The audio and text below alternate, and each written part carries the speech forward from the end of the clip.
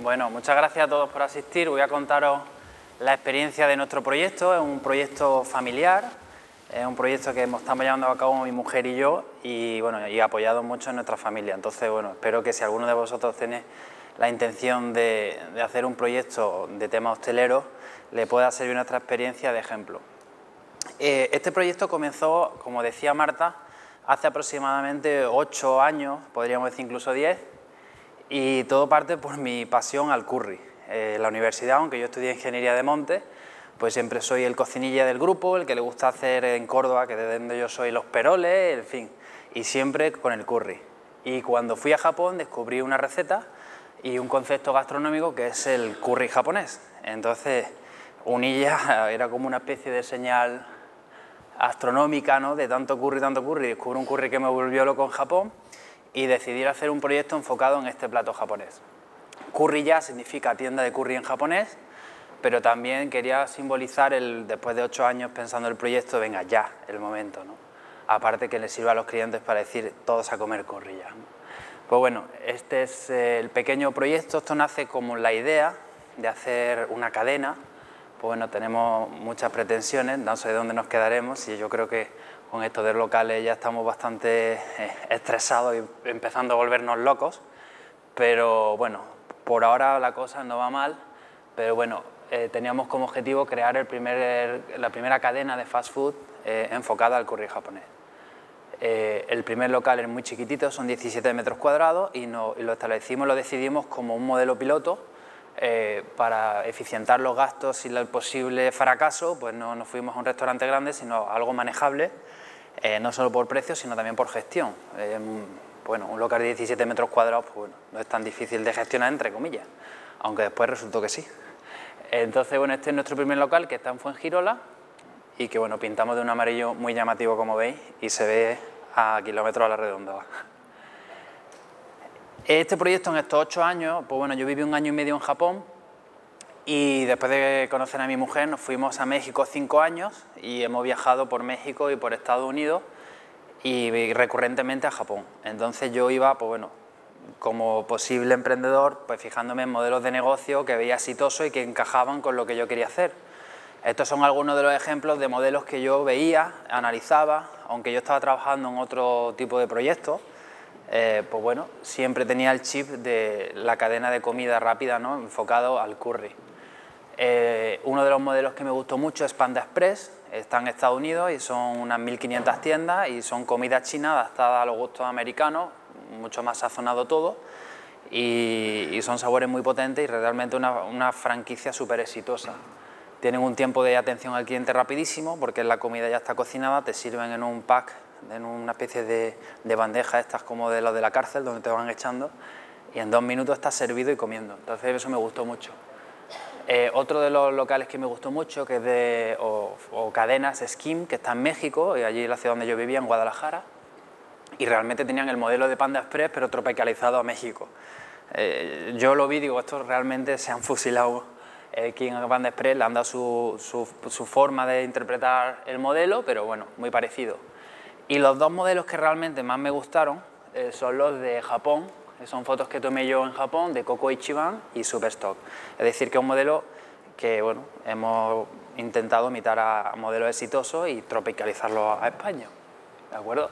Coco Ichiban es la cadena de curry japonés más importante de Japón y solo en Japón tienen 1.200 tiendas y solo tienen un plato y eso es lo que me gustó, que con un solo plato puede hacer un modelo de negocio. Estos son locales de Coco Ichiban, que yo iba fotografiando y viendo cómo funcionaba y son seis comidas casuales muy rápidas, muy baratas, donde el cliente entra y en cinco minutos tiene su curry, que ahora veremos cómo es el curry japonés, eh, come y se va. Entonces es una comida muy diferente y lo que me gusta son eso, los tiempos de, cocinado son realmente rápidos. Nosotros no, no los consideramos fast food en el sentido despectivo de la palabra, que para mí no lo es, porque el que la comida sea rápida no significa que sea mala simplemente que se ha procesado y se ha hecho un mi adecuado y puede atender rápido. Entonces nosotros nos llamamos, eh, al principio nos pusimos fast, slow cook, cocinado lento, fast food, que estaba en, el, en la banderita, ¿ves? Que hemos puesto cocinado lento porque los curries son guisos de, de uno o dos días como mínimo, pero se come rápido, se sirve rápido. Este es el modelo que hemos hecho en Fuengirola, donde tenemos una pequeña barrita y, como decía, era de modelo de testeo, de ver si funcionaba la idea y si realmente el curry gustaba en España, el curry japonés. Y la verdad es que está gustando mucho. Ya tenemos un montón de clientes súper forofos, algunos eh, son casi adictos, lo digo en serio.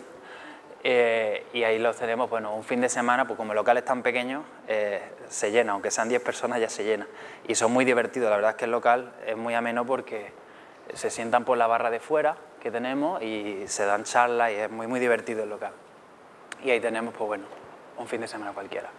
¿Qué es lo que hemos evaluado en este tiempo? Bueno, el packaging, bueno, voy a explicar un poco el curry japonés antes de lo que hemos evaluado. El curry japonés es una salsa suave de curry cuyo origen es India a través de los ingleses. ¿Cómo es esto? Los ingleses introdujeron la especia hace 150 años, la llevaron desde la India a Japón y después de haberse introducido los japoneses desarrollaron esta receta y en 1960 se convirtió en la comida precocinada más popular de Japón y actualmente es un plato nacional, se considera plato nacional en Japón. Es esa salsa que veis más o menos oscurita y suele ponerse arriba un complemento que puede ser un filete empanado al estilo japonés con panko, que es el chicken katsu, o puede ser tonkatsu, o pueden ser ostras empanadas, pueden ser calamares, o puede ser verdura, puede ser lo que quiera. Entonces ahí está la variedad, una sola salsa pero muchos eh, toppings. Estos son los packaging que hemos ido probando para la entrega a domicilio. Este es un plato, una foto de Coco Ichiban con su menú, donde veis bueno, diferentes toppings, ahí veis berenjena, ¿de acuerdo? Muchos son rebozados, el rebozado, por cierto, es de origen portugués en Japón, todo el tema de tempura y demás fuera parte de lo que, digamos, los portugueses introdujeron en Japón, y de hecho en Japón pan se dice pan, entonces es parte de la influencia portuguesa y española en cierto modo. Y ese es el plato típico de chicken katsu con el arroz y la salsa.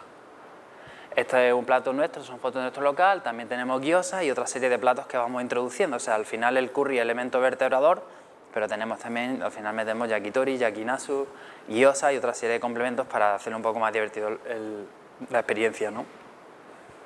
Hemos estado evaluando packaging, proveedores, eh, los productos también, que arroz, que curry, que congelados, que empanados, en fin.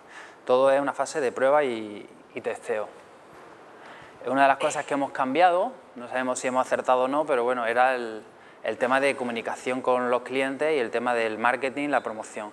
El primer logo, que era el del principio, era ese de allí, y bueno, pues era muy bonito, pero creíamos que no reflejaba el espíritu de un local japonés. Mucha gente desde fuera pensaba y piensa que es un local de comida india, entonces, pues bueno, hemos trabajado en el, remodelaje del logo y este es el nuevo logo que ya hemos aplicado en el restaurante de Málaga que bueno, ya hemos incorporado la palabra curry en japonés, que es esto que veis ahí, en katakana, que pone kare, y hemos puesto pues, bueno, la típica eh, de la bandera japonesa. ¿no?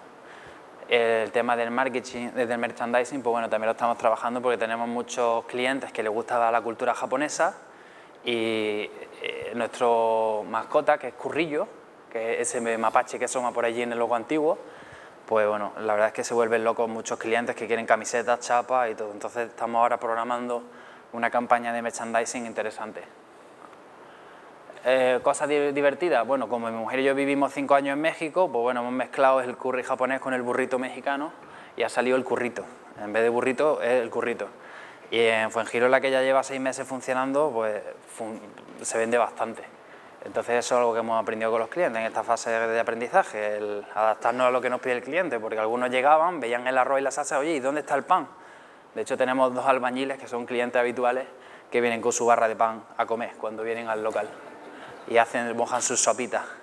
También tenemos un cordobés que dice que esto le recuerda mucho a la salsa de caracoles. Dice, esto parece salsa de caracoles.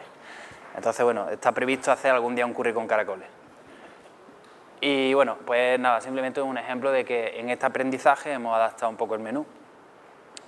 Como tenemos mucha afinidad con ciertos nichos de mercado, especialmente el grupo que se le suele denominar otaku, los que les gusta el rollo japo, el anime, pues hemos participado en algunos Japan Days eh, y la verdad es que los niños se han vuelto locos con lo que ofrecemos, porque ellos sí conocen el curry japonés bastante por los animes que ven. Eh, los animes son los dibujos japoneses, ¿no? Tipo Heidi, pero bueno, ahora ya se llaman Evangelion y nombres muy raros y ellos conocen, bueno, ponemos unos postres que son los mochis, tenemos, que son postres japoneses, tenemos refrescos japoneses que se llaman ramune, y ellos han conectado un montón con este concepto porque es lo que veían en los dibujos japoneses. Entonces, pues bueno, eh, Curry ya se nutre mucho de este sector de la población.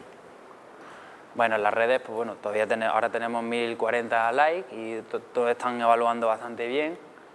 En TriAdvisor, pues, pues no vamos mal, aunque a mí la verdad es que no me gusta mucho TriAdvisor, porque la verdad es que te encuentras con gente que opina porque parece que, que son expertos. Nosotros, desde luego, somos muy humildes porque yo mismo soy ingeniero de montes, no soy un profesional de la hostelería. Lo que pasa es que me he rodeado de un equipo, de mi hermano en concreto, que lleva 14 años en hostelería y él que nos avala mucho de lo que hacemos y después, cuando hemos ido avanzando, nos hemos apoyado en, profesionales. Pero bueno, que TriAdvisor está sujeto bueno, a críticas muy, muy subjetivas y, y al final, pues bueno, una red más, pero que no, no creo que sea tampoco muy limpia la verdad. Como proceso de creación de un proyecto de franquicia, que es lo que queremos hacer, eh, nos hemos eh, establecido una serie de etapas para ver si llegamos a nuestro objetivo final, que era bueno, un poco eh, ambicioso, ¿no? de crear una cadena a nivel nacional, pero bueno, lo estamos intentando. El primer proyecto era el piloto de Fangirola, que ya lo hemos conseguido, que está funcionando bien, ya, estamos con, ya hemos superado la barrera de los números rojos, ya está entrando más que saliendo, cosa que es un éxito, aunque tampoco es para tirar cohetes, pero eh, vamos bien. Y el de Málaga era el segundo hito que queríamos llegar en el 2016 y lo abrimos hace tres semanas aproximadamente en la calle Álamos número 6, allí cerca del Trato Cervantes, a tres minutos del Plaza Cibay. Y bueno, la verdad es que está funcionando bien. En estas tres semanas todavía no ha habido un histórico para decir que, funciona, pero la respuesta de los clientes que están entrando pues, es satisfactoria. No está en fase de apertura, sino que está abierto ya. Y bueno, nuestra idea ya sería en el, año que viene, cuando ya tengamos un modelo de negocio más empaquetado y todo más cerrado y los procesos definidos y, tener un concepto pues bueno, más, más empaquetado, como decía, pues ya intentaremos ver si es posible la franquiciación del modelo. Pero eso todavía está por ver. Yo, por supuesto, creo que sí. Este es nuestro restaurante de Málaga, y bueno, eh, era parte del, modelo el tener un corner como el de Fuengirola, que fuera más takeaway, y después tener modelo restaurante para en el futuro que haya las dos posibilidades para posibles franquiciatarios o tener un, punto de venta pequeñito de 15 metros cuadrados o irnos a un modelo un poquitín más eh, de restaurante donde en este caso tenemos cabida para 55 personas. Los procesos y la gestión de este tipo de locales diferentes que el otro, por lo tanto se justificaba Mm, hacer un local restaurante y no hacer otro corner en Málaga. Entonces esto es parte del aprendizaje del proyecto, este restaurante de Málaga. Por contaros números y que veáis más o menos cómo nos está yendo el, proyecto, pues bueno, en 17 metros cuadrados este ha sido nuestro nivel de facturación, no sé si os interesa, yo entiendo que sí, cuando yo iba a este tipo de presentaciones digo, bueno, pero ¿estáis ganando o no? Y la verdad es que aunque parezca que son números muy altos, esto entre comillas, hay muchos gastos ocultos que después van saliendo y, los números, pues bueno, se ve la gráfica ahí estupendísima, pero tampoco creáis que es, eh, esto es la bolsa y tal, ¿no? que hay muchos gastos, como digo. Pero en cualquier caso, los tres primeros meses fueron muy duros, no se facturaba prácticamente nada, 2.000, 3.000, 4.000 euros, y ahora ya estamos consiguiendo un poquitín más de facturación. ¿vale? El indicador que yo veo de éxito de este proyecto es algo que es el ramune. Os comentaba antes de esta bebida, que es el refresco japonés, eh, muy original, que se llama ramune, que viene de Inglaterra porque fueron los ingleses de nuevo los que introdujeron la limonada en Japón. Limonade se convirtió en lamune. Y nosotros eh, somos, eh, pese a llevar solamente un año en el mercado, el 95% de las ventas de este producto en toda la Costa del Sol. Ninguno de los 52 restaurantes que nosotros hemos calculado que hay eh, asiáticos, japoneses, chinos, ninguno ha conseguido vender este producto en todos los años que llevan funcionando y nosotros en un año pues tenemos todas las ventas. Tampoco es un indicador que pueda decir, bueno, sois la leche, no. Pero sí es verdad que hemos encontrado pues, bueno, una forma de, vender este producto divertida y con un concepto nuevo que a cierto grupo de la población le ha hecho muchas gracias, la verdad. Y hay clientes que vienen y se llevan la botella porque es muy coleccionable. Entonces, pues bueno, creo que un indicador interesante.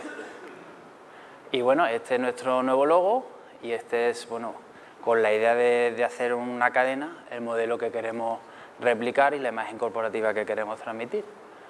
Y bueno, esa es mi experiencia y yo como profesional de otro ámbito, eh, pues bueno, os animo a, si sois emprendedores y estáis en el mundo de la hostelería y tenéis alguna idea en la cabeza, que la planifiquéis bien. Nosotros, bueno, todavía no sé si la hemos planificado bien porque estamos en fase de lanzamiento, pero por lo menos tiempo le hemos dedicado. Personalmente yo, pues en estos ocho años he estado volcado con el curry. Cada vez que voy a Japón, mi suegro pensaba que estaba loco, ¿no? Porque le decía, vamos a un restaurante japonés a curry. ¿Otra vez curry? Sí, y entonces ha sido muy, muy cabezón por mi parte y a mi mujer me la llevaba a los, distritos comerciales de hostelería, a ver arroceras, a ver no sé qué, a ver cuatro, estudiando modelos de negocio, estudiando planes de negocio y preparándolo mucho porque, claro, es una decisión muy importante la que hemos tomado, por lo menos en mi caso, ¿no? que fue abandonar mi carrera y, emprender este proyecto con mucha ilusión, mucha incertidumbre, pero con muchas ganas. Estamos en ello y, nada, ese es mi pequeño caso de emprendimiento que quería y que me han invitado a que os cuente. Cualquier cosa que queráis preguntarme sobre el proyecto o sobre lo que queráis de, este, de Curry ya, estoy a vuestro servicio. Muchas gracias.